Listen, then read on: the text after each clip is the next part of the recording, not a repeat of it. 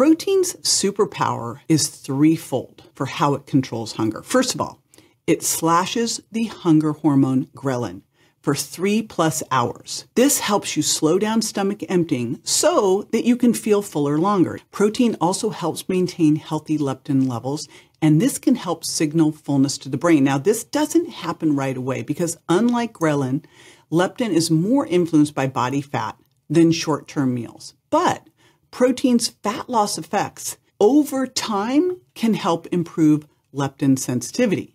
And then there's another hormone called PYY. And protein sharply increases PYY. This is a hormone that slows digestion and also helps promote fullness. Obese individuals often have blunted PYY responses, but a high protein diet can bring this back to normal. Plus, protein provides those essential amino acids that you need to make neurotransmitters from, including dopamine and serotonin. Now, dopamine and serotonin are super important both for appetite and cravings. And just think about it. When you eat a big steak and then the dessert cart comes, you're like, I'm full. I don't want that. And it's not just that you're full, you just don't have those cravings. So protein is more satiating than fat or carbs.